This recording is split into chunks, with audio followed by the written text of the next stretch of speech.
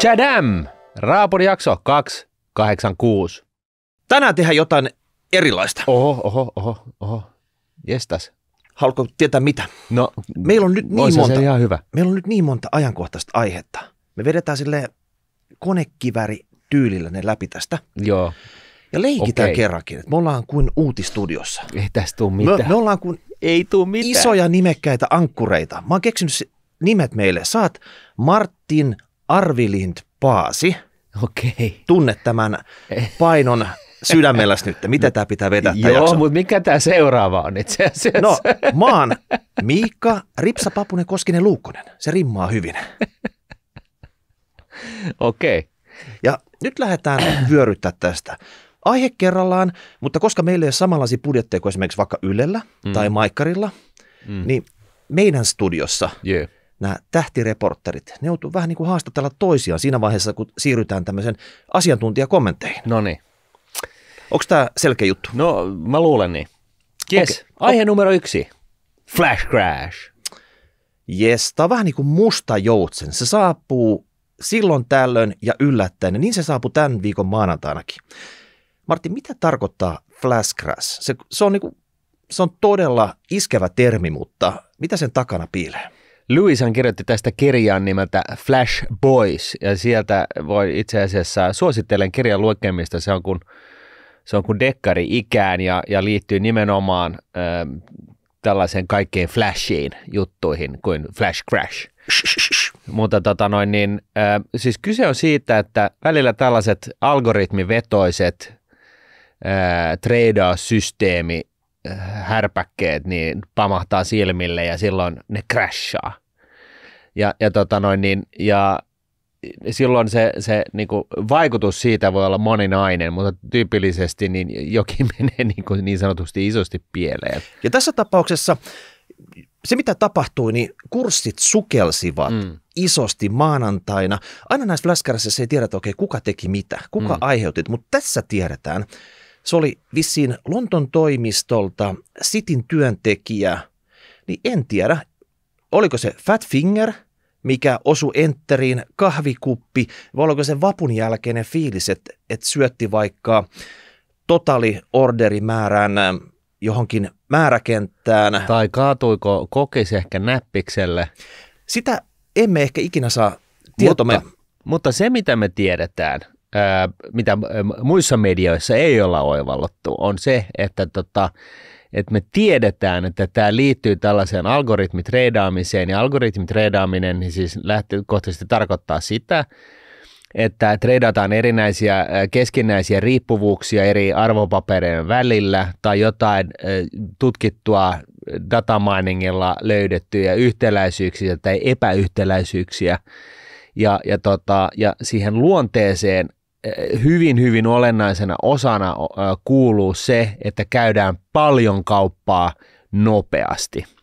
Ja nyt tässä tota, maanantaisessa Flash Crashissa, niin, niin tosiaan papereita myytiin ympäri Eurooppaa. Eli nyt ei ollut kyse siitä, että kesächuppari tuli, ta, piti myydä vähän niin kuin sata kappaletta Nokiaa ja sitten jäi, niin kuin nolla jäi jumiin ja, ja tota noin, niin se myykin 100 miljoonaa Nokian osaketta, vaan nyt oli kyse siitä, että joku ö, sorkki sitä, sitä niin kuin algoritmin niin kuin tällaista kokonaisvaltaus trading-systeemiä, joka johti siihen, että osakkeita myytiin sitten niin kuin ei vaan Suomessa, vaan ympäri Eurooppaa. Voisiko tässä olla taustalla se, että siellä testattiin tuomiopäivän myyntiodaa, mutta kävi sillä tavalla, että se ei ollutkaan testiympäristö, vaan se oli tuotantoympäristö, mihin se oda luiskahti ja se valui joka puolelle. Hmm.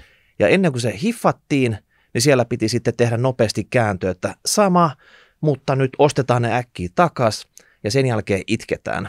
Joo. Ja normaalisti, jos tapahtuu vaikka pörssissä jotain ihmeellistä, niin pörssihän saattaa perunaa kaupat. Hmm. Mutta pörssi sanoi suoraan, että heidän systeeminsä toimii. Että siellä tuli näitä päivän, päivän sisäisiä huutokauppoja siitä, että joku osake vaikka Closesta oli tipahtanut liikaa tai edellisestä kaupasta tipahti liikaa. Tuli semmoisia hetkellisiä huutokauppoja, milloin se kauppa pysähtyy ja ne huutokauppatasat otetaan uudelleen käyttöön ja sitten se homma jatkuu sit siitä. Joo. Ja pörssinäkövinkkelistä kaikki toimii, mitään peruttu, Mutta mitä tästä nyt jäi käteen? Kuka nielee tappiot tästä Flash Crashista?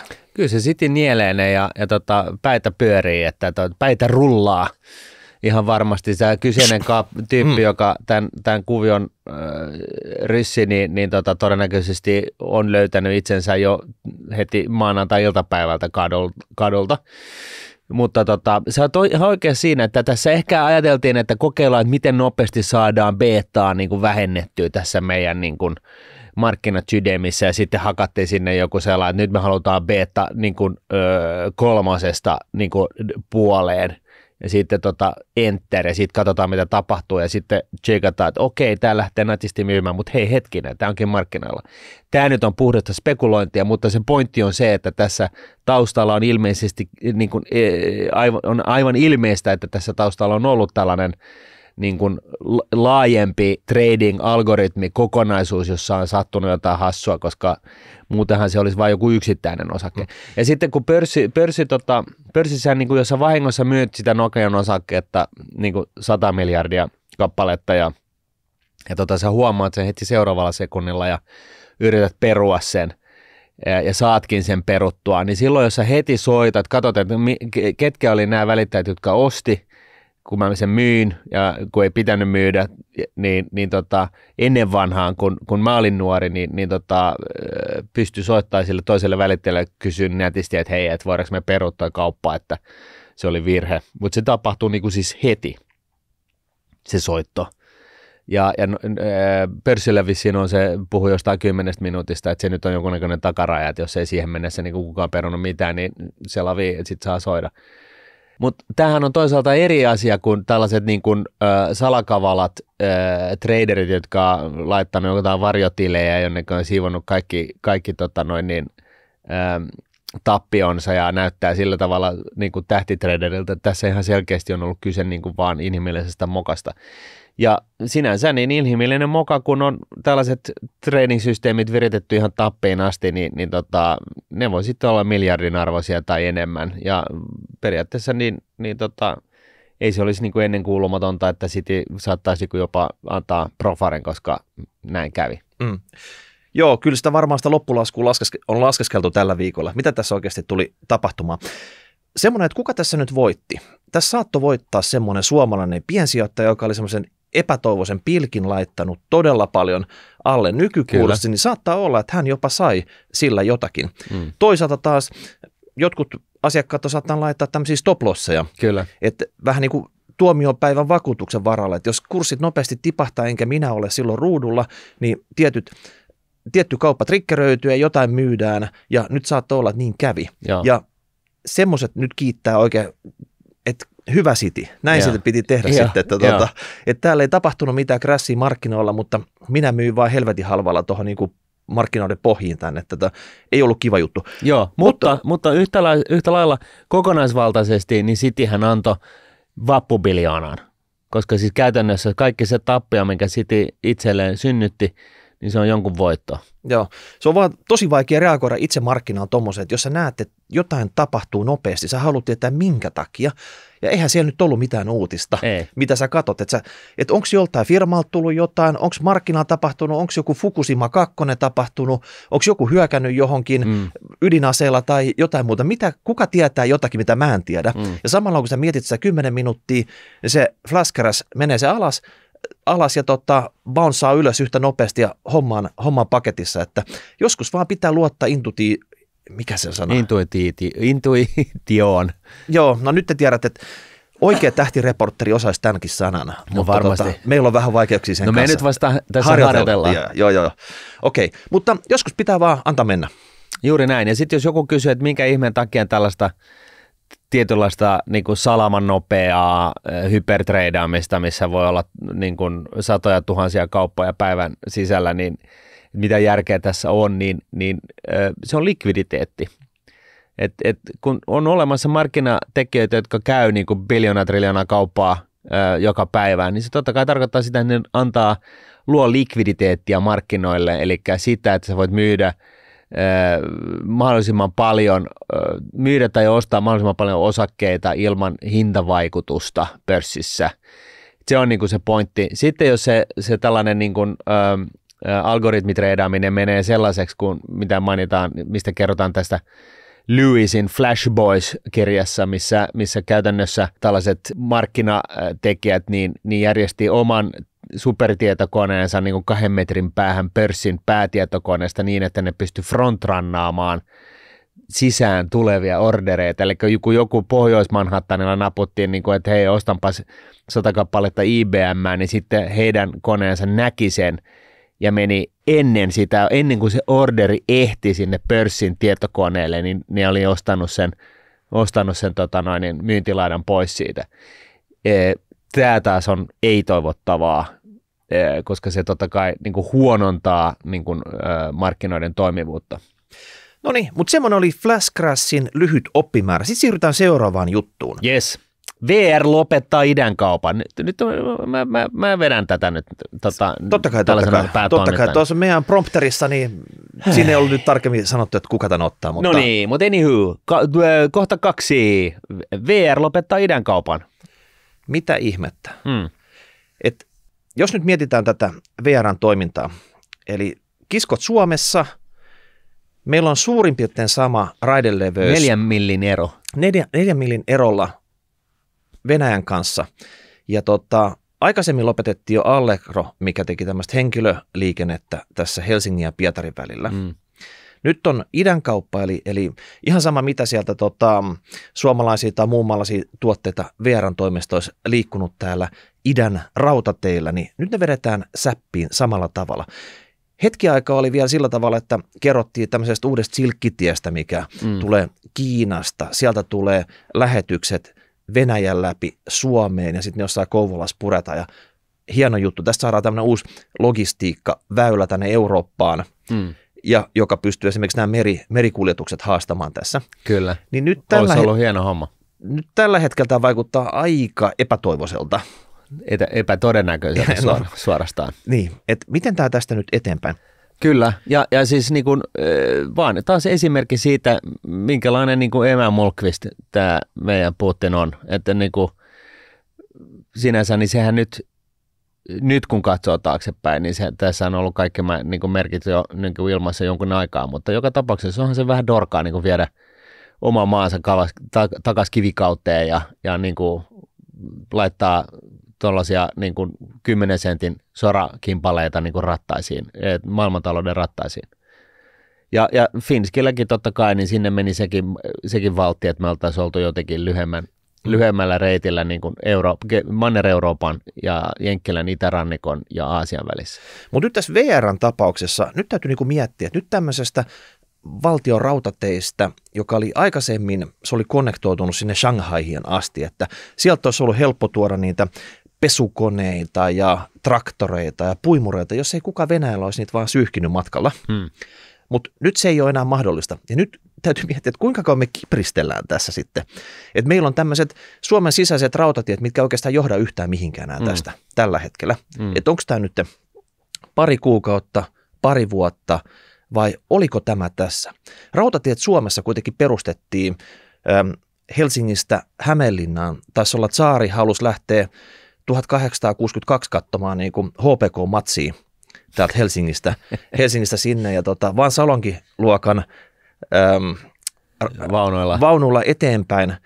Mä kattelin myös, että tota, ravintolavaunut keksittiin vasta jo 1938 Suomessa, että, että hän sitten siellä ihan normaali vaunussa matkusti tänne Hämeenlinnaan, mutta tota, 160 vuotta siinä on mennyt, niin onko nyt VR osalta, niin ollaanko me jonkunnäköisessä tämmöisessä raiteiden risteyskohdassa, missä pitäisi tehdä niitä päätöksiä, että joko VR keskittyisi tästä eteenpäin pelkästään noihin VR-laseihin, mm. niillä on niin kuin kysyntää. Mm, totta.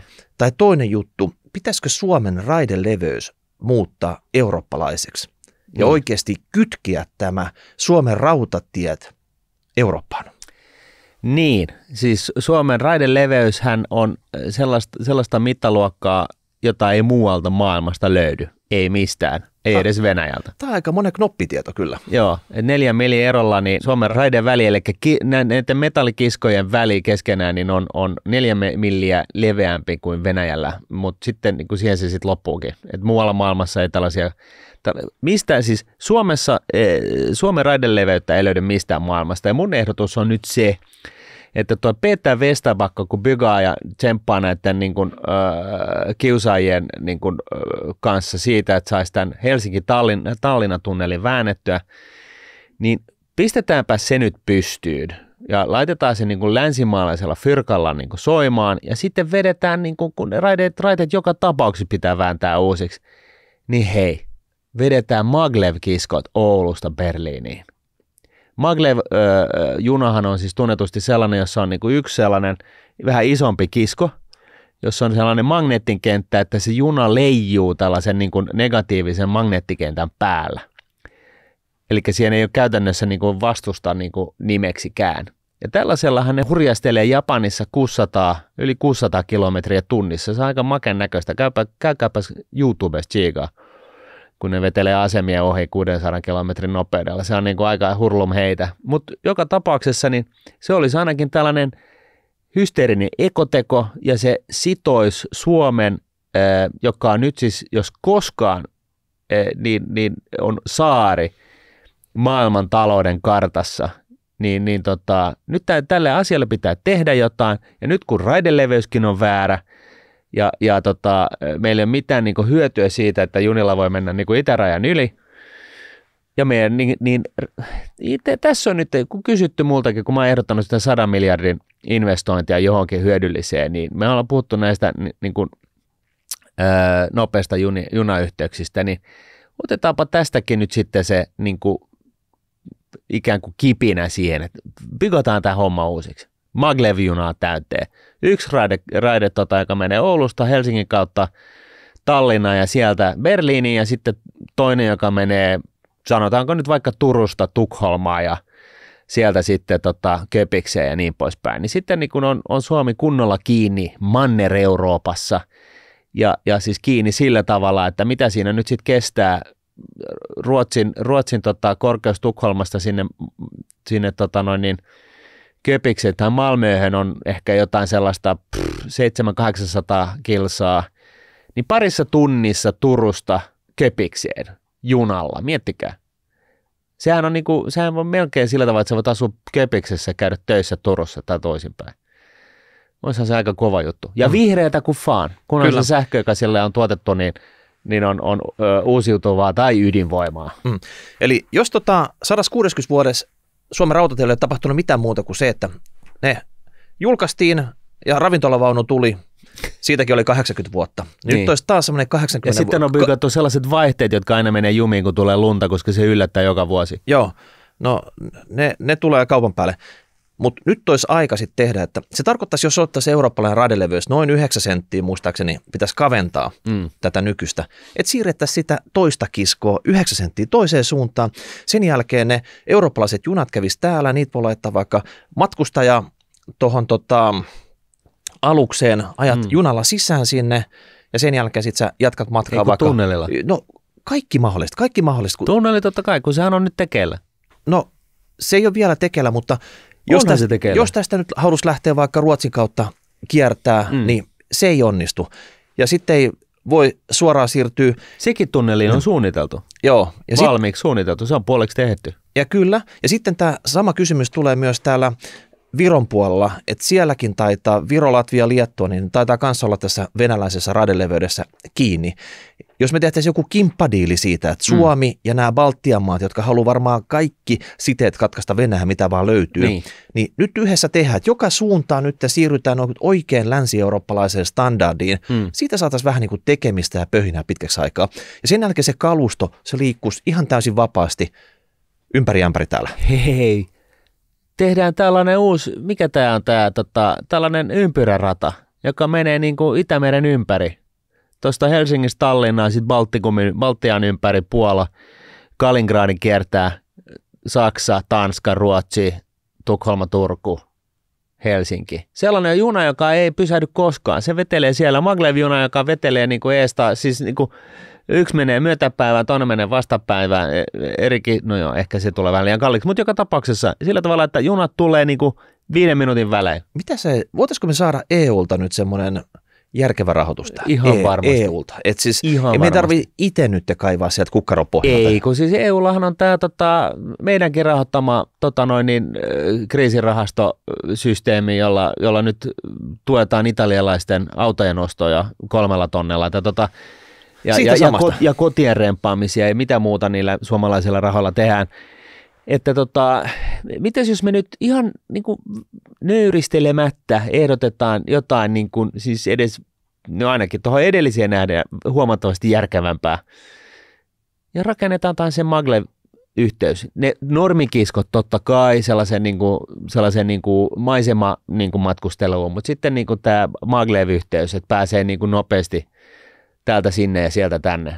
Ja mietin, mitä Levi, Levin ja, ja Lapin matkailulla tapahtuu, kun Berliinistä hujahtaa niin kuin kolmes tunnissa eh, raiteita pitkin Lappiin.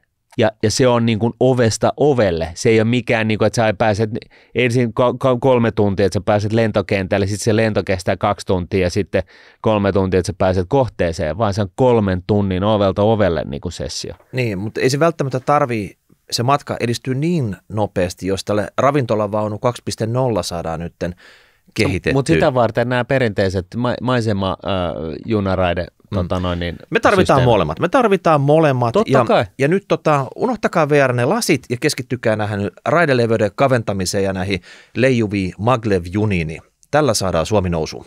Ihan niin kuin oikeasti. Meillä sanotaan tämä vähän niin kuin pilke silmäkulmassa, mutta tota, kyllä se vähän niin on, että, että tota, jos me vaan Ei nysvätään, uutistudiossa vitsailla. ei, Ei. että jos me vaan nysvätään tässä maassa, niin me jäädään nysväreiksi. Et, et, se tarkoittaa käytännössä sitä, että kaikki työt etsitään tulevaisuudessa jossain muualta kuin Suomesta. Nyt tämä pitää, siis tämä meidän maantieteellinen haitta pitää kuroa umpeen. Se onnistuu nyt juni, junaraiteita bygaamalla. Näin. Sitten siirrytään ö, uutisaiheeseen numero kolme. Uusi valmiuslaki tulossa. Vihdoinkin tätä odotettu kuin kuuta nousevaa. Kyllä, ei siinä vanhassakaan niin kuin ihan hirveästi vikaa oli. Oli siinäkin niin kaiken näköisiä mahdollisuuksia puolittaa päivärahoja ja, ja äitiysvapaita, ei kun siis äitiysrahoja ja, ja mitä kaiken näköisiä rahoja, mutta tota, nyt tässä uudessa niin, niin, tota, niin, niin on myöskin mahdollista nyt sitten ö, ottaa haltuun sun ylimääräiset kämpät ja antaa ne niin kuin maahanmuuttajille. Täh? Aikaisemminhan valmiuslaki oli vähän semmoinen, että jos joku tilanne tapahtuu, niin puolustusvoimat voi hakea sun neliveto maasturin Hmm. hmm. armeijan käyttöön ja that's Kyllä. it. Joo, Ja nyt on niin kuin parannuksia tehty valmiuslaki, niin maasturin lisäksi kaikki muutkin lähtee vai? No pikkuhiljaa, joo. Että tota, et tosiaan niin kuin jo edellisessä ää, valmiuslaissa niin, niin, niin eläkkeet ja korvaukset ja päivärahat ja, ja, tota, ja kaikki muut tällaiset niin kuin rahamääräiset jutut, niin ne, ne, niihin pystyy kajoamaan niin kuin yhdellä suurella mahtikäskyllä. No on totta kai, eihän näitä niin kuin valmiuslakeja niin kuin ihan noin vaan oteta käyttöön, mutta, mutta kuitenkin. Mutta nyt sitten niin kuin myöskin tällaista kiinteistä, kiinteitä omaisuutta. Ja tässä niin kuin logiikkana on se, että kun tämä hybridisodankäynti näyttäytyy monella tavalla, ää, niin tota, ää, esimerkiksi rahat voi loppua liikkumasta niin kuin rajan yli tai jotain muuta, tai rajalle, itärajalle voidaan laittaa niin kuin noin miljoona pakolaista, jotka koostuu niin kuin naisista ja lapsista, jotka jäätyy sinne kuoliaaksi, niin tota, siihen tarkoitukseen sitten niin otetaan nyt ne miljoona pakolaista tänne, koska ei kestä katsoa sitä kärsimystä ja, ja, tota, ja siinä tapauksessa sitten niin, niin valtiolla on siis tällainen mahdollisuus nyt ottaa kämppä haltuun. Kenen Ja- kämpä? No su- sun ja mun, jos sulla on jotain ylimääräisiä kämppiä. Mul, me, mul, meillä ei nyt itse asiassa ole, mutta, tota, mutta on sellaisia kuulemma. Et jos joku pieni vihreä mies tulee itärajalle, niin se voi muuttaa sun peräkammariin vai? Mm, en tiedä, mutta tota, se mitä oppositio tässä vähän niin kuin kismitti, niin oli se, että rajoja ei vieläkään voi saada niin kuin, eh, sormia napsauttamalla kiinni. Et, et, tota, edelleenkin niin siis lähtökohtaisesti otetaan niitä ihmisiä tänne ja, ja tota, ottamatta oikeastaan nyt sen enempää kantaa tähän asiaan, niin nyt täytyy niin kuin ihan aikuisten oikeasti kaikki sinun ja minun ja ihmisten myöskin ymmärtää, että nämä valmiuslakihommat, niin näähän ei oteta millään, mitenkään kevytmielisesti käyttöön. Että tota, et siinä vaiheessa, kun näitä tapahtuu, niin meillä on aivan hemmetisti ongelmia niin kuin muutenkin. Et meidän arki ei näytä nyt siltä, että meidän suurin ongelma on se, että valitsetko mä niin kuin toskakakun vai, vai viinerin tuosta niin kuin, ö, vitriinistä, vaan, vaan, vaan niin kuin nyt on, sitten on niin kuin tosi kyseessä. Ja se liittyy tähän niin kuin total defense-käsitteeseen, mitä Suomessa on. Eli käytännössä ihan jokainen resurssi, mitä Suomesta löytyy, niin valjastetaan tällaiseen niin kuin täydelliseen puolustuskäsitteeseen. Ei pelkästään ihmiset, vaan jopa yritykset. Että tota, ja nyt sitten myöskin haetaan tällaista liikkumatilaa muutenkin näiden valmiuslakien muodossa. Tämmöisenä reporterina mua vähän ihmetyttää se, että jos tehdään valmiuslaki, mitä todennäköisesti ei ikinä oteta käyttöön, mm. niin miksei sitä vedetä ihan tappiin? Miksei saada kaikki mahdolliset valtuudet, mitä ikinä vaan voitaisiin tarvita? Ja tässä nyt varmaan se, mihin mm. nopeasti viittasit, se vaikka rajat kiinni. Mm. Et jos nyt on tilanne, semmoinen tilanne, mitä kukaan ei vielä keksi, mikä se tilanne olisi, niin, niin tota, se voidaan tehdä. No toi on mun mielestä äärimmäisen hyvä kysymys että tota, et, et minkä ihmeen takia se asia piti jättää pois. Että jos, jos, jos tota, ää, kun ei osata sanoa, että mikälainen tilanne voi olla tulla eteen, niin miksei oteta kaikki työkalut siihen samaiseen boksiin. Ää, jos valmiuslakia otetaan käyttöön, niin se tähän ei oteta kokonaisuutena tällaisena niin kuin, niin kuin laganapäätöksenä, että okei, nyt kaikki niin kuin oikeudet niin kuin, ja valtion oikeudet niin kuin yhdellä kertaa käyttöön, vaan nehän otetaan valikoidusti ja se, ne, se, siinä on kovat tiukat kriteerit, että voiko tämän ottaa ja näin poispäin. Mutta jos, jos niin kuin tällainen meihem syntyy, niin totta kaihan se olisi parempi, jos siellä olisi myöskin se vasara siellä niin esim... työkaluboksissa. nyt me jätettiin se pois, millä me sitten naulataan? Jollain, jollain tota shiftarilla, kun sitä hakataan sitä naulaa sitten siihen lankkuun. Että tota, vähän niin kuin siinä mielessä tyhmää. Niin, ihan sel- selkeä niin kuin esimerkki. Jos sä tilaat puusepän, puusepän sun työmaalle, mm. niin puuseppä yleensä tuo omat työkalut mukanaan. Mm.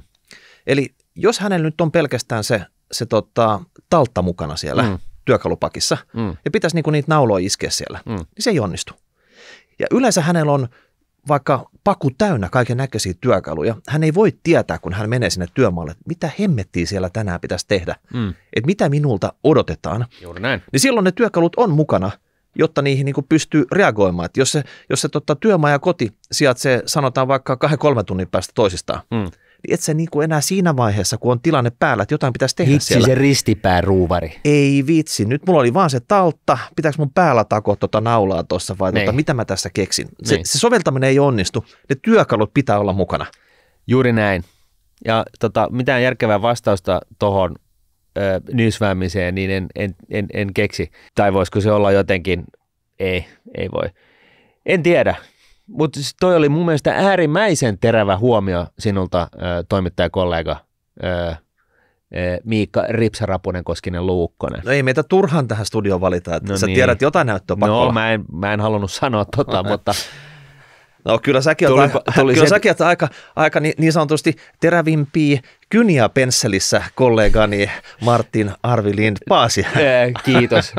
Mitäs nyt tällaisia Oho, eh, nyt jatketaan, jatketaan, jatketaan, se, tota jatketaan seuraavalla se. aiheella, äh, eli nelosaiheella, ennen kuin tämä menee aivan liian äh, kuumottavaksi tämä, tämä keskustelu. Neljä, korot. No niin, USA 10-vuotinen korko ylitti kolmen prosentin ja Saksan 10-vuotinen korko ylitti, ylitti prosentin. Eli tota, hmm, voisiko se olla niin, että inflaatio synnyttää korkopaineita ja että korot voisi lähteä nousuun. Voisiko se olla näin? No se on ehkä liian aikaista vetää tämmöistä suoraa johtopäätöstä tässä. Huomaa mu- nyt kuitenkin, että Yhdysvalloissa niin vuodenvaihteessa korko oli puolitoista prossaa ja Euroopassa eh, miinus 0,4, tai siis Saksassa. Nyt se on yksi. Et eihän tässä mennyt kuin neljä kuukautta. No, ehkä sen takia tämä nostetaan nyt tähän, eli mennään tämmöisiä tiettyjä tasalukui mm. ylöspäin. Jos katsoo niitä käyriä, niin ne on todella tiukasti kääntynyt viime aikoina nousuun. Tämän koko vuoden topikki tulee olemaan korot. Mm. Ja sitä ei voi korostaa. Korko ei voi korostaa liikaa tänä vuonna. Vaikka tämä kuulostaa hemmetin tylsältä aiheelta, mm. kun se vaikuttaa kaikkeen, kaikkeen mitä sä et osaisi arvatakaan, niin. Niin sen takia pitää olla kiinnostunut näistä koroista. Ja mitä enemmän niitä korkoja nostetaan, sen tutummiksi ne tulee, niiden käyttäytymistä ymmärtää ja mihin se johtaa. Kyllä. Ja tota, tälläkin hetkellä, juuri tällä hetkellä, kun me tässä studiossa tehdään, meillä ei nyt ole enempää tietoa aiheesta, mutta Yhdysvaltain keskuspankki Fedi, he on visaisen päätöksen edessä. Mm. On puhuttu, että korkoi pitäisi tänä vuonna nostaa. Inflaatio on täällä, ohjauskorot on täällä, kun normaalisti niiden pitäisi mennä vähän niin kuin paita ja peppu täällä. Mm. Ja tota, markkinat on ennakoinut, että tässä tämän ja huomisen päivän, kun tätä nauhoitusta tehdään, niin, niin tota, nostoksi tulisi semmoinen 50 pipsiä, eli 0,5 prosenttia. Mm. Mutta siellä viisaudessaan ne, ne tota, keskuspankkiirit, jotka on nyt oikeastaan tämän nollakorko ajalta aina jäljellä, koska ne haukat lähti menemään. Mehän Joo. todettiin siihen, että ne kyllästyi, kun siellä ei tapahtunut mitään. Joo. Ne jätti se keskuspankki. Niin. Niin me ei tiedetä, minkälaisia päätöksiä nämä jäljellä olevat kaverit enää pystyy tekemään. Mm. Ymmärtääkö ne koroista yhtään mitään? Koska nyt Niin, ei ne ole on mitään, niin nuoria, että ne ei välttämättä ole niinku nähnytkään sellaista korkoa ja ei, ei niinku kokenut sitä omissa Mm. nahoissaan ikinä. niin, pakko sanoa, että, että kriteerit, millä siinä porukka on valittu, niin ei välttämättä ole niin korkeat kuin esimerkiksi tähän Rahapodin studioon. No ei, no ei tietenkään, Niin. mutta, mutta tota noin, niin, eh, kyllähän ne korkeat on siitä huolimatta, mutta tota, se on vähän tällainen huolenaihe kyllä tuo, että tässä on menetty niin pitkään niin kuin tällaisen niin kuin ultra eh, elvyttävää eh, rahapolitiikkaa, että tota, että onnistutaanko sitä tankkeria nyt sitten kääntymään niin kuin ultra kiristävään ja onko se edes ultra kiristävää? Kun tässähän on kyse siitä, että markkinat ennakoi siis ö, koronousuja sillä tavalla, että markkinakorot nousee. Että et ne niin kuin lähtee siitä, että tämä on nyt ihan sama, että korot tulee nousemaan, inflaatio on tuolla, kukaan ei enää lainaa rahaa, jos ei maksa jotain plusmerkistä korkoa. Ja vaikka keskuspankit vielä niin kuin nysvää niiden niin kuin, ö, tota noin ohjauskorkojensa kanssa ja pitää niitä edelleen niin kuin jossain puolessa prosentissa Jenkkilässä ja, ja, tota, ja nollassa tai miinuksella niin kuin Euroopassa. Mutta tota noin, niin, ö, tässä tämä, tämä on edellisen jakson y- y- yksi näistä huolenaiheista, että tässä niin kuin jotenkin tuntuu, että keskuspankit on aika reaktiivisia. Että tota, ää, et IMFn pääjohtaja Kristaliina Georgieva, niin, niin hän totesi, että, että tota, joo, että tässä on kyllä nyt vedetty talla pohjassa viimeiset 12 vuotta ultraelvyttävää määrällistä elvytystä, alhaista korkoa, koronatukipakettia ja kaikkea mahdollista. Te, me ollaan mokattu hei. Et onko se mikään ihme, että se inflaatio lähtee kiihdyttämään. Ja, ja itse asiassa mähän laitoin sulle WhatsAppissa niin kuin yhden twiitin, missä oli, oli tota, keräilty muutaman maan PKT ja inflaatiokehitys. Ja sehän on ihan hassun näköistä, kun inflaatio lähtee niin kuin korkeuksiin ja BKT s- kyykkää. Eli siihen enää, kun BKT kyykkää tarpeeksi, niin, niin tota, tässähän on niinku stagflaation ainekset, jos missään. Tai itse asiassa mehän ollaan jo stagflaatiossa, niin kuin me rahapodissa jo sanottiin tuossa vuodenvaihteessa. Hei, keventävä välihuomio. No niin, kevennä. Watch up. Eli, eli me ollaan ihan nykyajassa mukana. Me niin. ei Niin. olla niin fossiileja kuin te no. luulette. Eli kaikki nämä nykynuorison Työkalut. työkalut, ne on kovassa käytössä. Meidän Kyllä. työkalupakki, niin se, on, se pullistelee oikeastaan kaiken näköisistä tämmöisistä Joo, digitaalisista työkaluista. kyllä. Joo, et, et me ollaan kyllä internetin suurkuluttajia. Ollaan. Mutta jos palataan vielä tähän korkoihin, ja oikeastaan Jenkkilän korkoon, kun se kuitenkin määräytyy vähän tälleen markkinaehtoisesti, to, toisin kuin täällä Euroopassa se korko. Mm. Ja viimeksi taisi olla 2018, kun tämä kolmen prosentin psykologinen raja tässä kymppivuotisessa jenkkikorossa meni rikki. Ja silloin se alkoi jo vähän niin kuin taivuttaa osakemarkkinaa inhottavalla tavalla siinä. Mm. Ja nyt ollaan vähän niin kuin samassa tilanteessa, että et tota, se on nyt tässä taipunut jo. Se on tässä kevään aikana nyt isosti taipunut, mutta tuleeko tämmöisten merkkipaalujen ylityksestä nyt mitään ekstra vapinaa sinne markkinaalle, niin se on mielenkiintoista nähdä. No jos me, mä sanon vaan, että jos jenkkikorko niin kuin tässä jatkaa nousua, niin tämä on kyllä niin kuin aika ikävän olosta. Titanien taistossa Oksis, Jukka Oksaharju, ää, superälykäs nuori mies, niin, tota noin, niin ää, huomioi kuitenkin sen, että edelleenkin reaalikorkohan on reilusti negatiivinen niin Jenkkilässä kuin Euroopassa. Eli kun katsotaan sitä, että mitä se korko on nyt, täällä markkinakorko versus inflaatio. Inflaatiohan euroalueella on 7,5 prosenttia, siis huomaat että se nousi puolitoista prosenttia viime jaksosta. Et, että tota, ja Jenkkilässä 8 prosentin paremmalla puolella. Eli siis tämä tuntuu nyt ja yhtä lailla Kiinan laittanut Shanghain säppiin. Siellä on kaikki maailman rahtilaivat nyt niin kuin ankkurissa siellä Shanghai-lahden e, edustalla. Ei se ainakaan helpota tätä, tätä, tätä kehitystä. Joo, no se on koronan takia. Mutta mut, mut, et, et, et siinä mielessä niin, niin tota, on siis tällaisiakin opittuja juttuja, että hei, että joo, mutta kun ei ole mitään vaihtoehtoja. Mutta mä, mä sanoisin tähän, että, että näistä kahdesta vaihtoehdosta, että se, että, että onko reaalikorko negatiivinen vai onko ö, yritysten arvostuksissa kasvavassa määrin ongelmia, kun ö, korot nousee selkeästi ja reilusti ja syvälle, syvään päätyyn plussalle – niin mä sanoisin, että jälkimmäinen, niin kuin ihan nöyrästi en tiedä, mutta mä sanoisin, että se jälkimmäinen vetää se pisimmän korren ihan sen takia, että Jenkkilässä on se nel, äh, viidennes tota noin, niin yrityksistä on zombeja edelleen.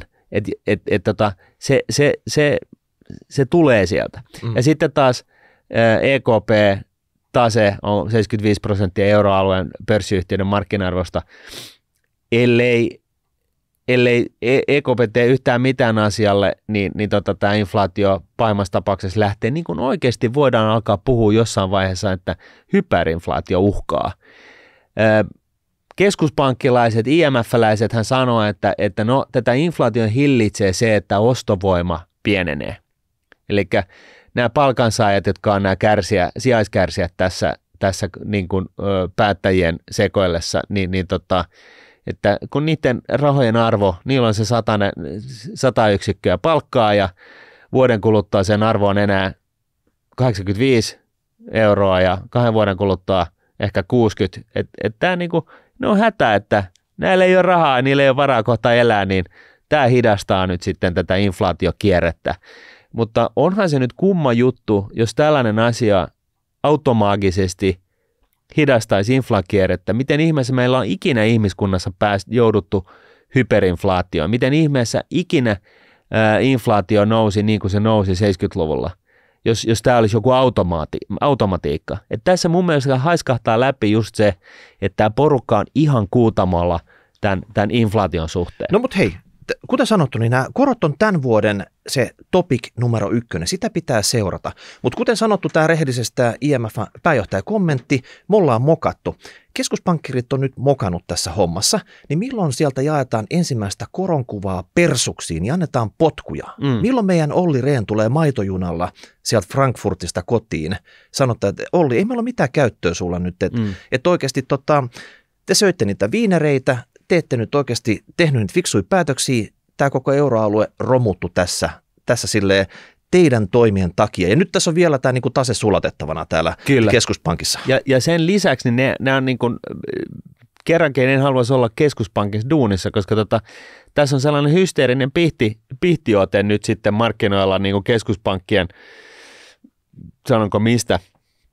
Ää, mistä? Mä en, mä en tota kielikuvasta nyt päässyt oikein oikein tota, kiinni, niin mistä ne on nyt napannut markkinoita kiinni? Varpaasta. Okei. Okay. Joo. Joo. Mutta tota noin, niin, ää, ja se on se, että tota, tosiaan BKT-kehitys niin kuin hidastuu ja, ja, ja dippaa nyt samalla, kun inflaatio lähtee nousuun.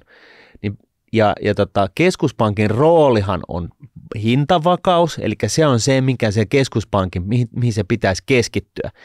Valitettavasti keskuspankki on harrastanut tätä ää, tota noin niin, rahapolitiikka-elvytystä viimeisen 12 vuotta, joten, joten se on niin kuin täysin skitsofreenisessa tilassa, että se on niin kuin hetkinen, hetkinen että et, et euroalueella niin kun on jouduttu taistelemaan sen takia, että e, sen eteen, että euro ylipäätänsä pysyy kasassa, niin se on niin vetänyt, se on ollut tällainen seireeni, joka on vetänyt keskuspankin tällaiseen niin kuin, fiskaalipolitiikan tontille, eli sille tontille, missä päättäjät, poliittisesti valitut päättäjät pitäisi jauhaa läpi niin kuin tietynlaista talouskuria ja, ja rakenteellisten muutosten läpiajamista, niin, niin keskuspankkiet on, on ajautunut tälle tontille elvyttämällä niin kuin fiskaalisesti taloutta ja pitämällä niin kuin korkoerot euroalueella niin kuin säpissä tai niin kuin samoilla tasoilla.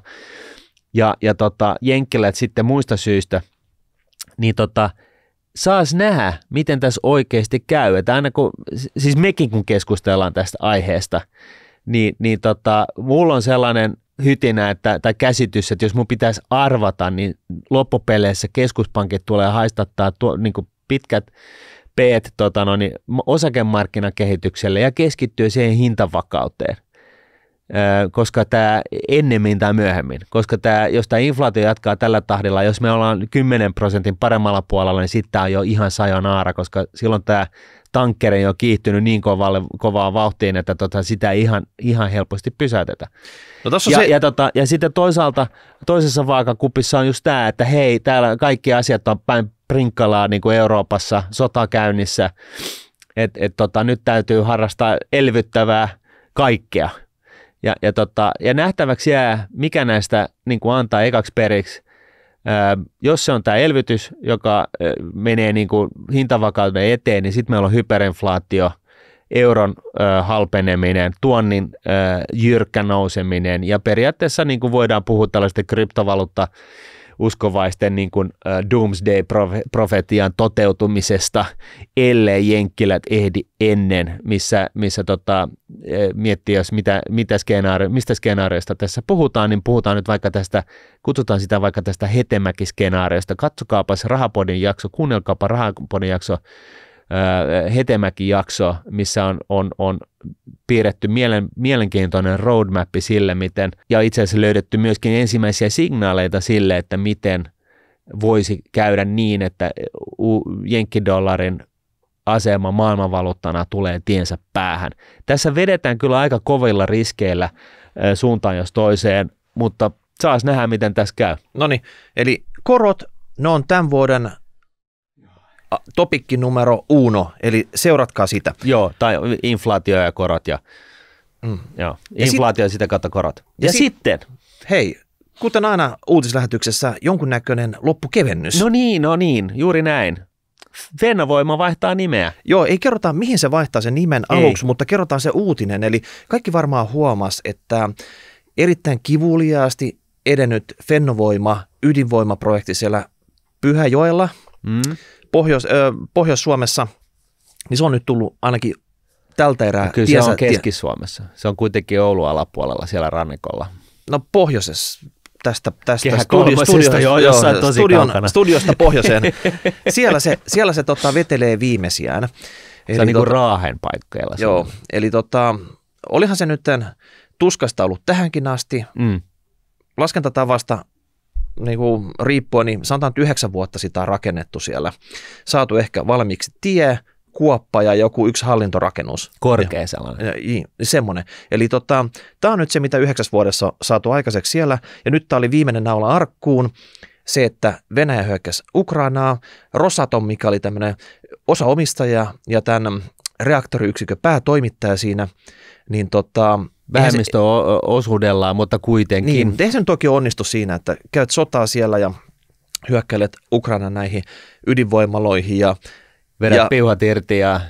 Ja sitten tota, sama, samalla muka jatkaisit tätä toimitussopimusta, niin nyt siihen tämä Fennovoima yhtiönä purki sen. Mm. Ja vaikka he nyt todennäköisesti sai valtiolta tämmöisen mahtikäsky, että se on nyt vaan nyt pakko tehdä. Mm. Ja tota, valtio ehkä nyt ei itse halunnut tehdä, ettei se valtio itse suututa Venäjää tässä, että se pisti Fennovoiman tämmöiseksi välikappaleeksi siinä. Ja. ja nyt seuraavaksi alkaa se, että totta kai Fen, tämä Rosatom, mikä on se 7 miljardin 7 miljardin tämän niin kuin toimitusprojektin se vastapuoli, että eihän tämmöisiä kaupallisia sopimuksia voi tästä vaan nyt terminoida. Mm. Että heilläkin on alihankintaa siitä, että sieltä osa olisi tullut vissiin Saksasta ja Ranskasta niistä, niistä turbiineista ja turvalaitteista ja ties mistä sitten, että siellä on taas niin kuin isoja firmoja taustalla, taustalla siellä, että tästä tulee jonkinnäköinen iso farsi, miten tämä saadaan sitten lopulta. Showdown. Lopulta sitten sovittuu sopimussakot ja kulut ja mitä sille työmaalla nyt tapahtuu tässä. Ja mm. Jotain toiveita elätellään siitä, että josko nyt saataisiin joku muu reaktoritoimittaja ottamaan vähän niin kuin lennosta kopin ja jatkamaan siitä. Siinä on monttu valmiina, että ei muuta kuin tota, niin tota... ja eihän se nyt ole sinänsä, siis t- t- se mikä mun mielestä tässä oli kuvaavaa on se, että kaikilla osa- osapuolilla tämän Fennovoiman ympäriltä, eli paikalliset kunnat ja kaupungit, jotka on niin kuin jollain vähemmistöosuuksilla mukana ää, tässä VSF-yhtiössä, niin, niin, tota, niin, niin niillä on eri, erilaisia näkemyksiä tästä asiasta. Toiset sanoo, että ei tässä, tämä on, niin kuin, tämähän on niin kuin gone, ja toiset sanoo, että hei, että tässä on kuitenkin ympäristövoimat ja luvat ja kaikki mahdolliset on niin kuin saatu.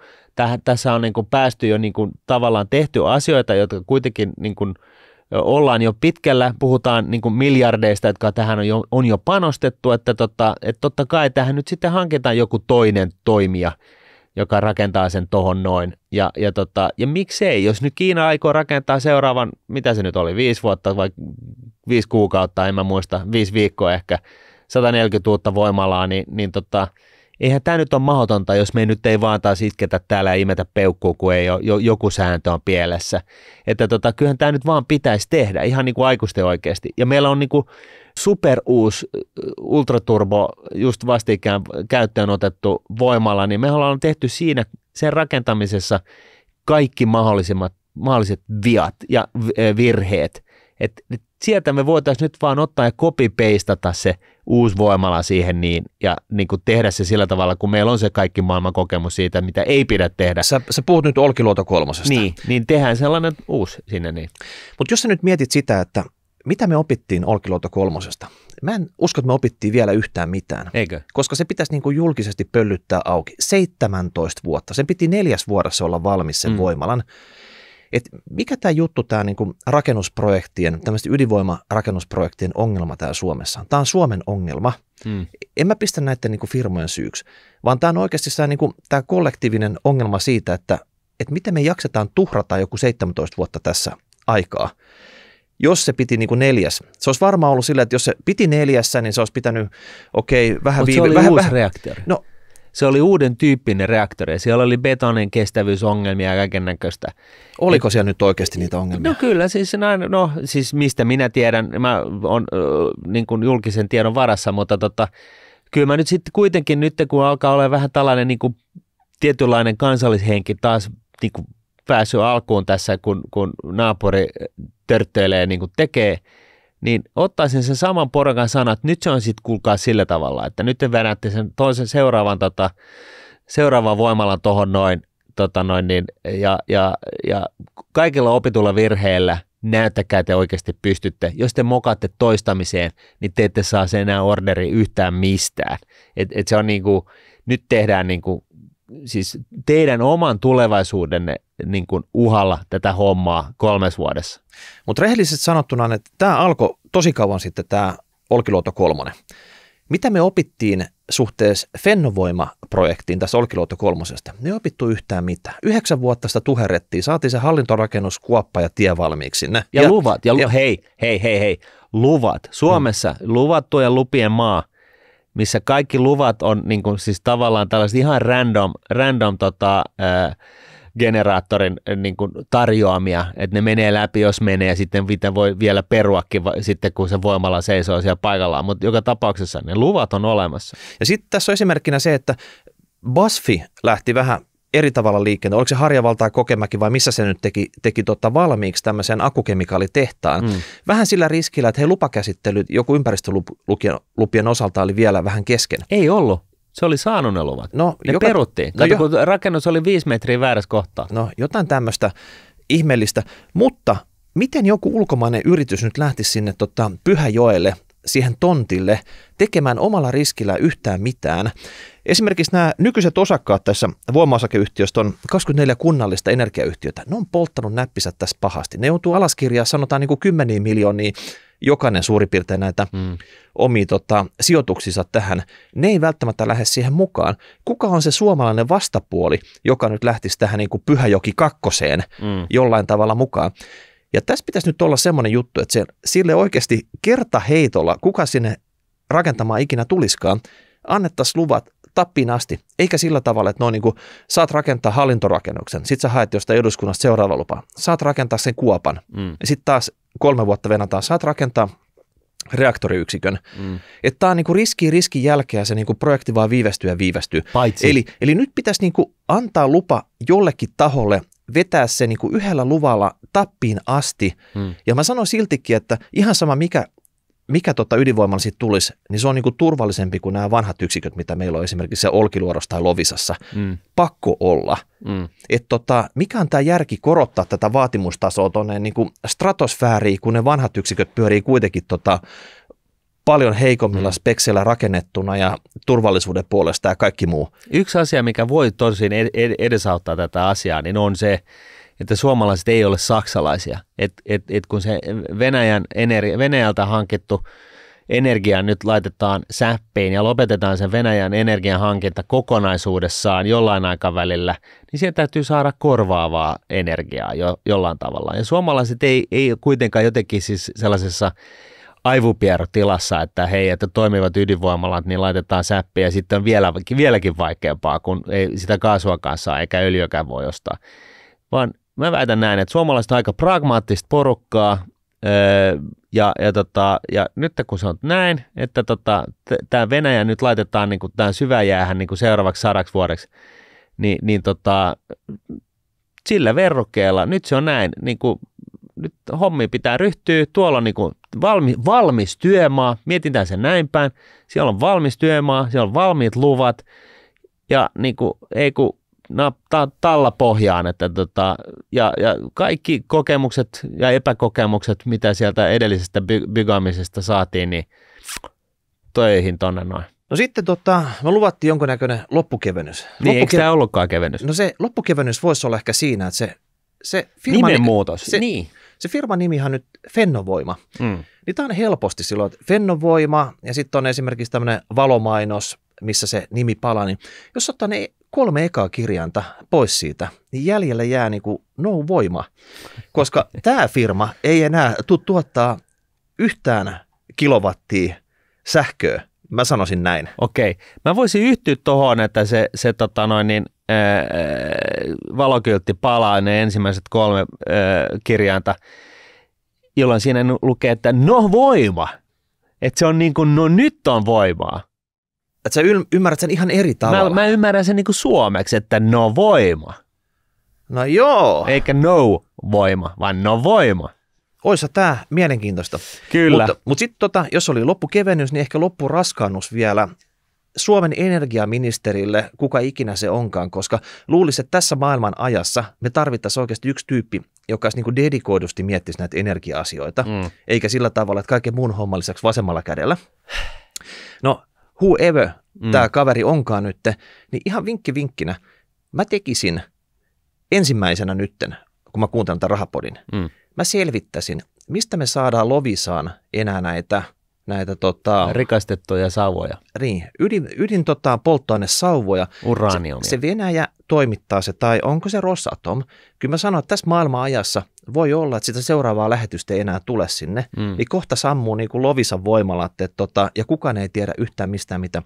Se me opittiin tästä tota, jakso 27 nepasta, kun me käytiin tätä uraania niin tiukasti läpi, että se ei olekaan ihan nopea prosessi, että ostaa mistään kaupan hyllyltä vähän uraania Mm. ja tunkea sitä johonkin sauvaan. Vaikka sitä Mm. maailmassa on niin kuin, ha- hamaan tulevaisuuteen asti, mutta kun se on siellä syvässä maan sisässä ja, ja tota, tässä viimeisen kymmenen vuoden aikana kaivoksia on laitettu kannattamattomina säppiin ja, ja, tota, ja tässä äh, lähivuotena, vu- parina vuotena, niin on, on lähestulkoon kaikki ydinvoimalat ympäri maailmaa aikoo ostaa sitä uraniumia, niin vaikka tällä ei ole niin, niin suuri merkitys tähän niin ydinvoimalan niin pyörittämiseen, niin ostakaa nyt sitä niin varastot täyteen nyt.